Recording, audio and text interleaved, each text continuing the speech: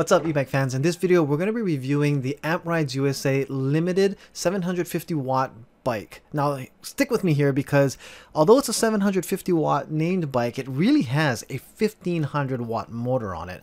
And you know, to really clear up a little bit about this part of it, I actually am doing a review this time with an interview at the same time with Josh, the owner of Amp Rides USA, to go ahead and talk about the bike. And we're going to go into details a lot about the specs on it and how cool this bike really is. So let's get started and check this bike out.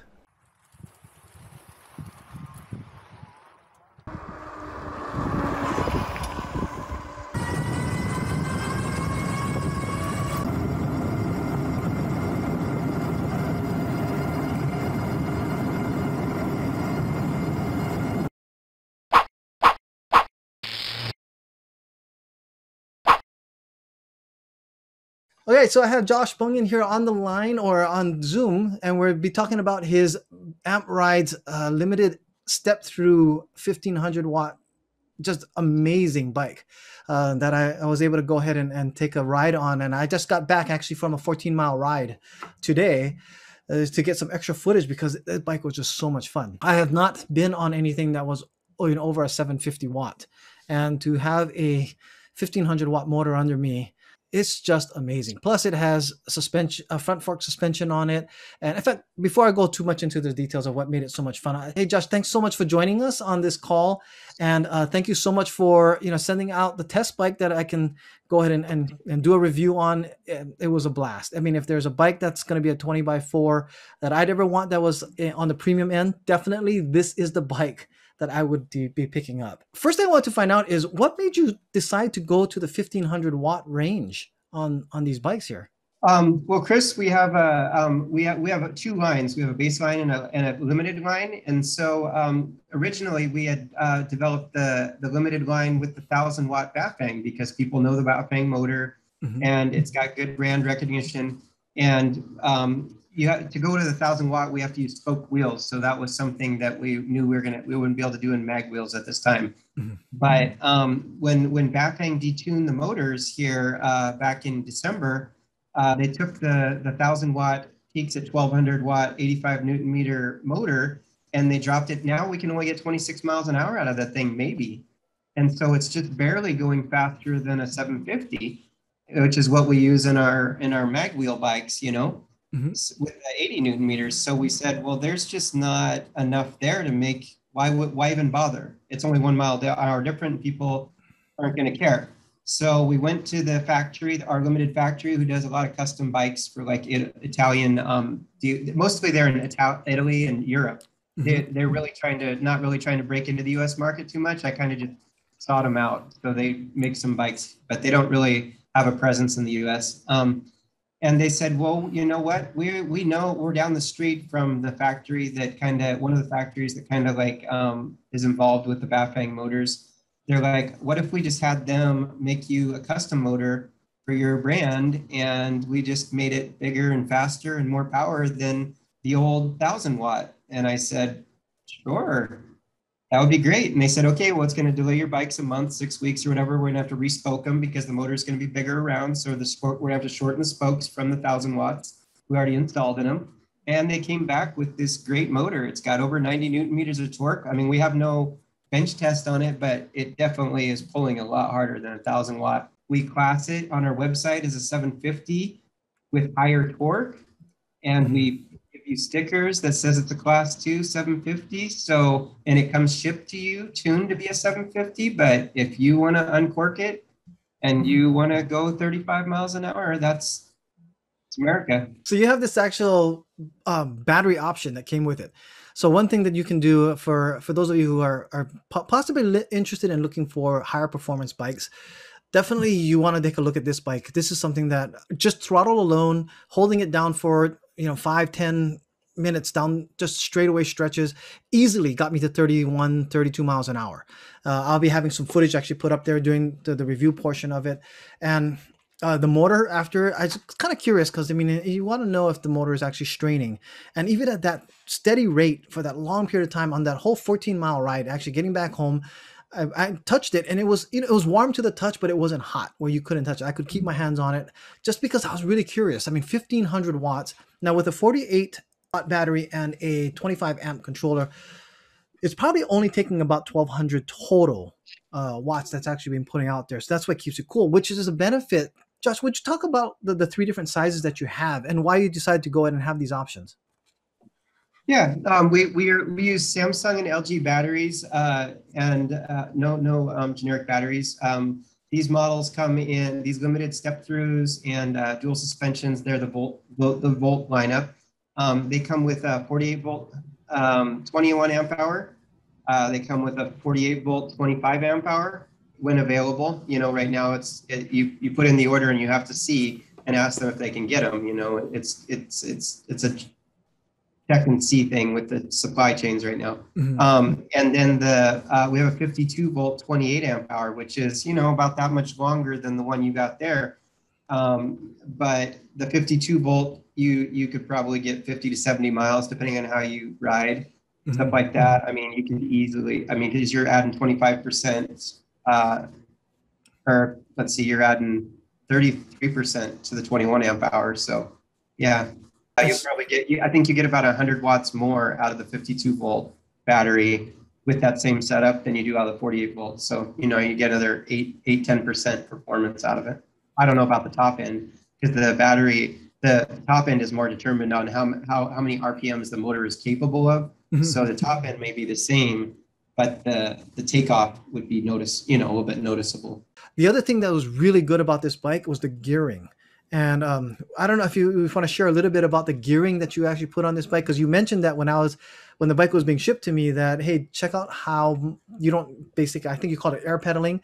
You know, you don't have to air pedal as much because uh, the gearing is huge on the front end, and you know the the high end gear on the back end is also really uh, small. So it really gets you so that you can help pedal the bike if you want to, and you can actually push it faster. Uh, can you speak about what size teeth and uh, what you put on there? Yeah, most bikes these days are coming with the 48 to 52 tooth cranks, but we we we said, hey, we want to put 52 six tooth cranks on all of our limited models. And the factory said, well, we don't use that. They're like, uh, well, we check into that, and they're like, uh, that doesn't make sense. It's going to look ridiculous. And I said, no, I'm just I did some calculating, and I think that I want to have 56 tooth crank on the front and I want to have 1134 gears on the back, and I want to have a paddle shifter, eight speed on the right hand grip. And I'm like, I just want to have a bike that you can cruise at top speed and not really have to look like an idiot, you know, trying to pedal down the road, you know, so you know, not look like you robbed just robbed a bank or something. uh, yeah, I think when you take off on these bikes, you really when you go to stop and you're like, okay, I'm going to stop and then I'm going to take off again you really have to retrain yourself because on on like a on a on a 1428 gear bike you could take off in the bottom gear in the in the in the seventh gear no problem in the small cog mm-hmm. no problem because it wasn't geared that low but like these bikes you really need to shift up and to be like in the middle of the back gears just so when you take off if you you know it, that that you can have some sort of because it's just geared so low mm-hmm. at that bottom end but you can always take off if you forget with your thumb throttle and, and but you train yourself after you know three or four rides. You're like oh i'm coming in you know i need to shift the gears up or i'm coming into a stop sign you know. And the and the rapid fire shifters you can jump up three or four gears at a time. You don't just jump at a time. You can skip half the gears.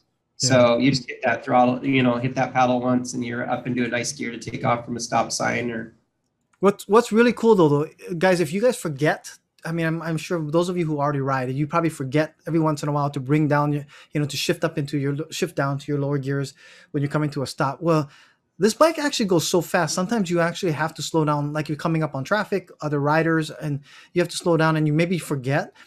With 1500 watts under you, honestly, even at a dead stop, I don't worry about it like I would with other bikes. You know, oh, I'm not in the right gear because the throttle will take me will take me to the you know to the speed that I need to get quite easily. So it's really nice to actually have that much power because I'm thinking, why would anybody need a 1500 watt motor? This bike spoiled me. It's it's so much fun. Uh, I mean, I do have you know a high performance bike at a 750 watt but there's just something about the comfort of this bike that's just a lot more different but for some reason when i'm riding this bike at you know the higher speeds i'm sitting straight up and it is very well balanced and like you said you don't want to be you know pedaling like you're you're looking like you're crazy the thing is the faster you pedal like that you actually are not as stable because you're moving so mm. much. So if you're not pedaling as fast this 56 tooth it does not look ridiculous. It actually looks really cool. Oh yeah it looks really good. It, yeah, it's yeah. a really good and it has a chain guard too. I mean it's not a really thick chain guard like that goes over but it doesn't need to be. There is a chain guard so you know you won't get your pants all dirty and it won't go into the teeth. It, it has this aluminum guard that's on the outside that's on it but it looks really cool. And the gearing just makes sense especially because the bike can go as fast as it does. Now that being said as well the stability of the bike because you are going faster you want to be able to stop really quick. This bike comes with some really awesome hydraulic brakes as well. Uh, the Tektro E3 uh, E350 hydraulic brakes with the 180 millimeter bigger discs. You know. Yes, so 180 millimeters, which is you know larger than a lot of the bikes at a 20 inch range, usually come with the 160 millimeters. So the 180 is also more stopping power. The higher end hydraulic brakes that are on there, I mean, they, they feel like butter. You really you just you just if you need to stop, you can even just touch a little bit and you'll start to feel it. it. it. gives a lot more confidence on your ride that you can stop that quickly. And of course, with 20 inch fat tires, I mean, four inch fat tires on the back, the, the grip on the road gets you stopping as quick as you need. So there's a lot of safety into that as well. It's a really, really good bike. I, I just can't say how much I, I'd say this is a, a pretty amazing bike that you have put together there and at a great price too. So the, um, the the lowest mod not well the lowest battery size at 48 amp 21 amp hours is at 1899 is where that one begins and then uh, he has the 25 amp hour battery which goes to uh, 1999 and of course the 52 volt uh, with the 28 amp hour battery is now at 2099 really want the customer to have a big battery i mean nobody ever complains and says i wish i would have gotten a smaller battery yeah. nobody has ever said that you know yeah. that ever called me up and said oh i wish i would have bought a smaller battery of your bikes, they're always like, oh man, I never run out of battery. I don't have battery anxiety, you know? Especially you're going to burn some battery with that big motor if you're going to be cruising at the high speed too. So you want to have plenty of range. So the other thing that comes with the comfort of this bike was it. You, I, have never seen this or heard about this, but it came with two seat posts. Um, why'd you put in the bolt the two different seat posts in there? Well, this bike is a little bit taller than our base models. The frame, it's the same basic frame, but we had to go in and the factory had to go in and rework the frame a little bit to, um, they wanted to increase the load, the, the, the, the, the riding capacity, you know, another 75 pounds more than our base models because they figured, hey, some people that want a bigger motor are going to be bigger people or they're going to be putting a lot of luggage on it or something like that, you know, taller, whatever people that, that you want the more power for one reason or another and so they said, we need to go in on the motor mount area and we need to re-weld some different things, make it stronger. We need to change this other th- couple things. You know, they changed a couple things on the bike. It took them a couple months to test it and, and make sure it was uh, capable of handling the motor and everything. So it raised the height of it a little bit. So usually when we sell a step through, we give people a suspension seat post automatically because we always tell people they get full suspension front, something in the front, something in the back, whether it's mm built into the bike or it's a suspension seat post and they always have fork suspension. So, but we saw that it was a little bit higher. So we are like, well, hey, let's just throw in the non-suspension seat post and save people 20 or 30 bucks in the trouble of trying to find one if they're a little bit shorter and that way they can work with it, you know, um, right out of the box. Yeah, it's so awesome. So guys, just so you know, it has actually two seat posts in it. One is a suspension seat post, which just so you know, at five five, that's my height, and uh, 29 um, 29 inch inseam without shoes. Now with the shoes on, I'm actually going to 30 so I can actually ride it. That minimum height is actually perfect for me for full leg extension, feels really comfortable.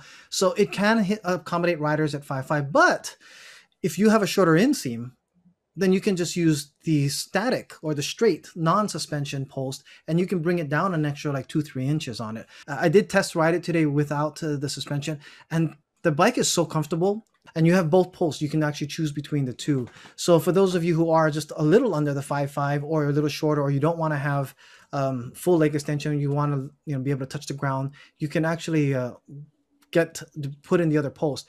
So the other thing that he did, so you know, even though you don't have a suspension post on there, if you have the shorter one that you want to put in there, he put in a really good seat. And I was wanted to ask him about the seat because I mean, you guys have some of you have seen my other video where I actually do a bikeroo versus the Cloud Nine seat and then versus the stock seats that come in there. Everybody says the first thing you do is change out a seat. To be honest, your bike that you actually put out there just does not need the seat change. It's actually really comfortable. And I'm really glad you did that because then I didn't have to go ahead and mount to one of my other seats to go ahead and make sure I had a more comfortable ride on that. Any thoughts on mm-hmm. those? Those bikes also uh, should have the um, there's little holes in the in the rims. Did you notice that? Oh yes, yes. Yes, those are called suspension holes. They soften the ride because the, the, the rim will flex more now. So instead of solid ah. rim with spokes, yeah, it's not, they have a lot of flex. Those those flex more, and so it gives you a softer ride um, with the oh, suspension nice. rims. Okay, so yeah, so I mean, I'll, have a picture on the screen where they can actually see what, what you're talking about there too. Uh, yeah, I do see the holes there, and you know, I actually pumped these tires up just maybe about two pounds under the max pressure, just so that we get the max speed and uh, more efficiency on it.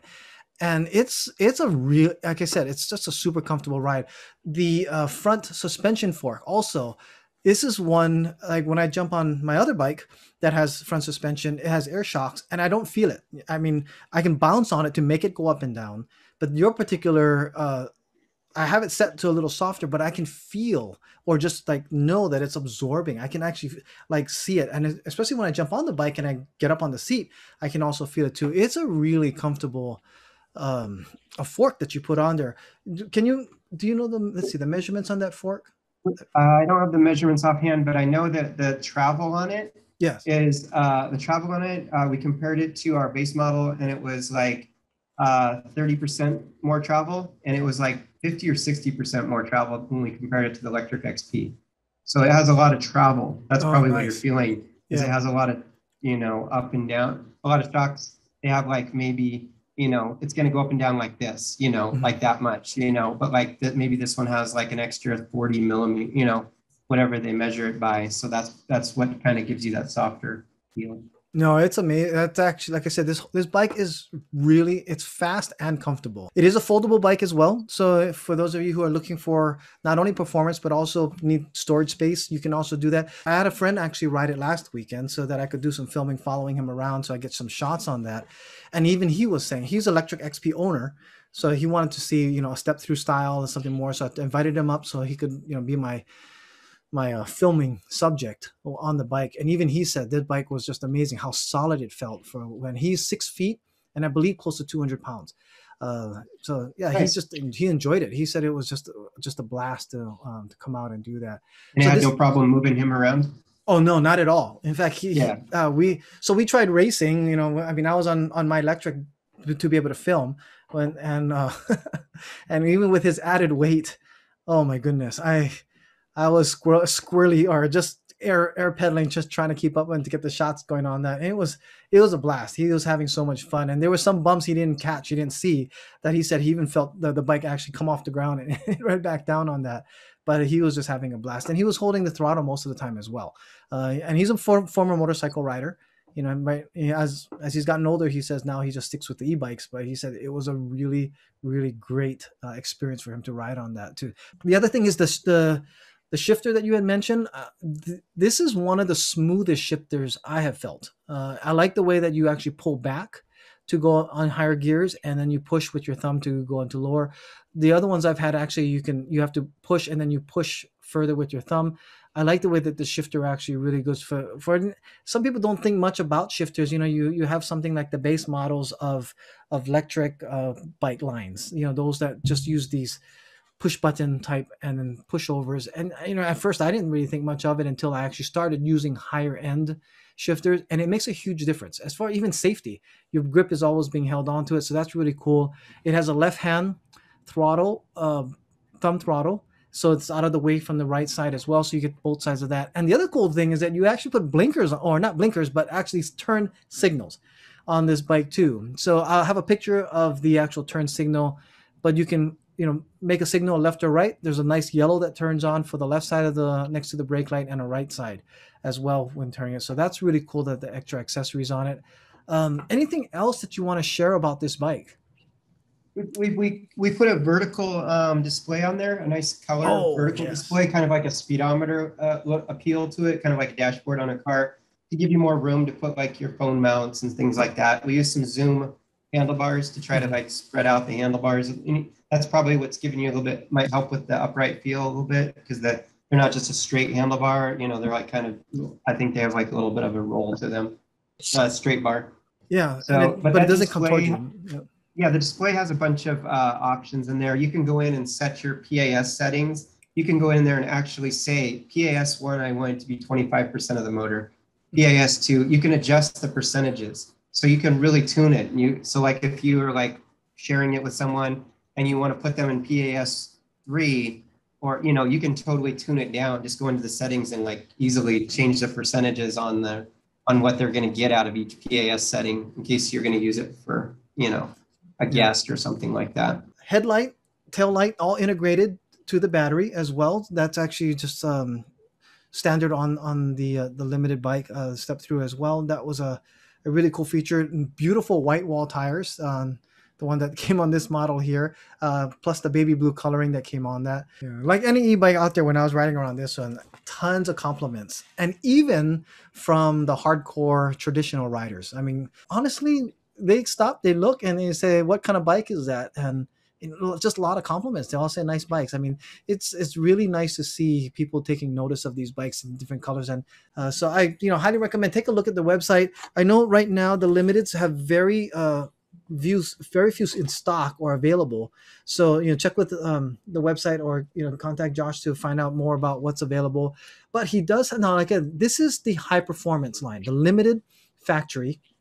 Uh, this limited line comes out from the limited factory where he gets these high performance uh, bikes. But the baseline or the base factory, the base line that he has, there are the ones that are, they're not the the high performance ones. You know, they're a little less expensive because they actually have uh, what, what is it, 750 or 500 watt motors? 750 Bafang, Oh, so you know, yeah, 750 750. Bafang.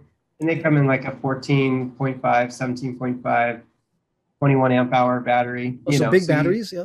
yeah, it's just mainly, you know, it, it's just a little bit less price and um, more affordable for people and more readily, easy to get a hold of. You know, it's easy right now with all the parts that we require for our limiteds. You know, it can take them four months to make them, two months to ship them. It can take six months to get a bike in. So Mhm. somebody can custom order a bike and it can take six months. You know, whereas we have bikes, we have the base bikes coming in every six weeks or so. Now that uh, something, something I probably didn't mention to you before was on the limited bikes, um, we can use uh, if somebody orders one, you know, they put 500 bucks down and they they want to like pick a color or they want to go in on an order that we already have a couple of colors to work with. You can uh, also choose red, red aluminum wheels, uh, Oh. gold aluminum wheels, black, blue, and silver.